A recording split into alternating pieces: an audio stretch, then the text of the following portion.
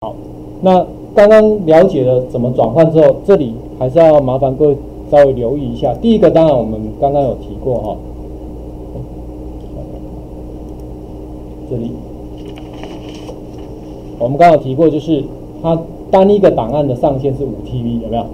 好，再来就是 Google 文件，因为它毕竟是线上编辑，所以比较没有办法像我们一般在自己电脑上，就是有有的人 Word 或 PowerPoint 很大，有没有？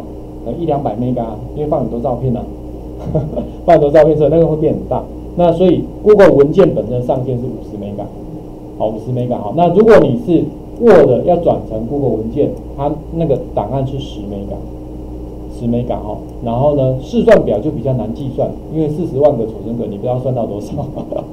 好，反正比较复杂的才有可能超过了。好，Excel 的部分，那 Google 简报的上限就比较大一点，就可以到多少？一百美感。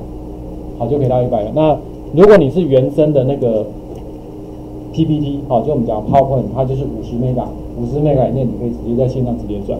反正不行的话，他会告诉你的，他会告诉你说，哎，很抱歉哦，你超过那个格式大小。好，转换的限制，这个可能要麻烦各位稍微留意一下。